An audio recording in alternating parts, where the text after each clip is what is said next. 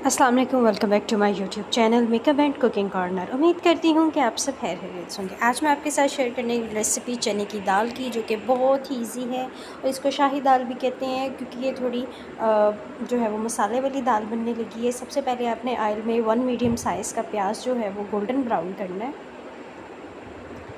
उसके बाद आपने वन टेबल स्पून इसमें अदरक लहसन का पेस्ट ऐड करना है, और उसको भी अच्छी तरीके से भूनना है। दो से तीन मिनट आपने आयल में प्याज को और लहसुन को अच्छी तरीके से भूनना है।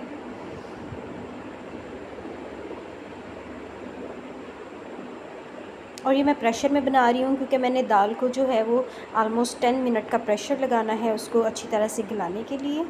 तो इसलिए मैं इसको प्रेशर में ही बना रही हूँ। दो से तीन मिनट जब अच्छी तरीके से इसकी बुनाई हो जाए तो आपने इसके अंदर जो है वो टमाटर डालना है। टमाटर को आपने थोड़ा सा पानी डाल के उसको ब्लेंड कर लें। या टमाटो पेस्ट आप ऐड कर सकते हैं इसमें।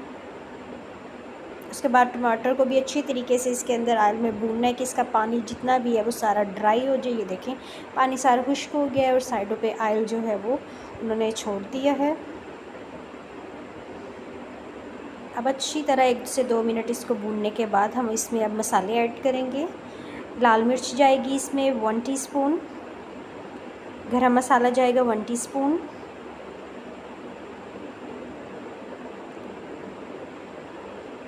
हल्दी जाएगी हाफ़ टी स्पून इसके अलावा कश्मीरी मिर्च जाएगी वन टीस्पून और नम सॉल्ट भी जाएगा हाफ़ टी स्पून ये बेसिक मसाले हैं जो तकरीबन सब घरों में होते हैं, लेकिन आप इस दाल में अगर ये मसाले यूज़ करेंगे तो बहुत ज़बरदस्त दाल बनेगी ये।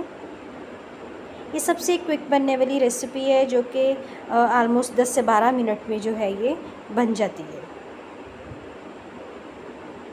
अच्छे तरीके से आपने मसाले को भूनना है, उसके बाद थोड़ा सा पानी ऐड करना है कि आपका मसाला अंदर नीचे ना लगे।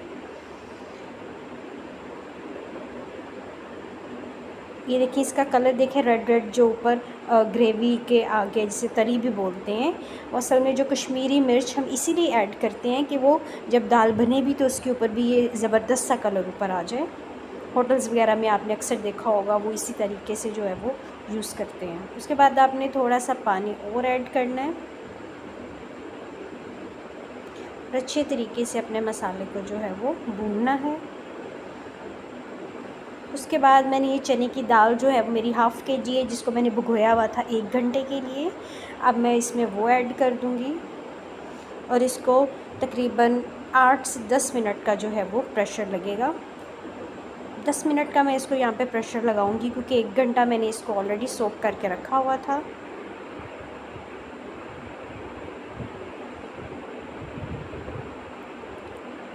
यहाँ पे इसका मैं ऊपर से तड़का तैयार कर लेती हूँ। आपने ऑयल में जो है वो वन टेबल स्पून मैंने जो है ज़ीरा डाला है और इसके साथ मैंने एक लाल मिर्च ली है। आप यहाँ पे जो खुश्क मिर्ची होती हैं, लाल, वो भी ले सकते हैं, लेकिन मैंने यहाँ पे फ्रेश रेड मिर्च ली है क्योंकि मुझे इसका टेस्ट ज़्यादा पसंद है बीच में। और फ्रेगरेंस भी, ये देखें मेरा यहाँ पर प्रेशर जो है मैंने लगा दिया था, उसका टाइम पूरा हो गया था। और अब ये तड़का मैंने ऊपर से लगाया है। देखिए कितनी ज़बरदस्त लग रही है। उसके बाद आपने अपने तड़के को अच्छी तरीके से दाल में मिक्स करने के बाद पाँच मिनट तक इसको और चूल्हे के ऊपर रखना है, ताकि जो आपका तड़का है वो अच्छी तरीके से मिक्स हो जाए। यहाँ पे प्रेशर लगाने की ज़रूरत नहीं है। यहाँ पे बस आपने चूल्हा जो है वो थोड़ा खोल देना है, ताकि आपका जो तड़का है और दाल है वो आपस में जो है वो मिक्स हो जाए। और ये देखें, ये जो सारी हमारी तरी है, वो सारी ऊपर आ जाएगी इस तरह से और ये बहुत ज़बरदस्त लुक लगती है इसकी। ये देखें आफ्टर फाइव मिनट हमारी दाल जो है वो बिल्कुल रेडी हो गई है। उम्मीद करती हूँ आपको ये रेसिपी पसंद आई होगी। इन फिर मुलाकात होगी आपसे नेक्स्ट वीडियो में। तब तक के लिए अल्लाह हाफिज़, अपना ख्याल रखिए।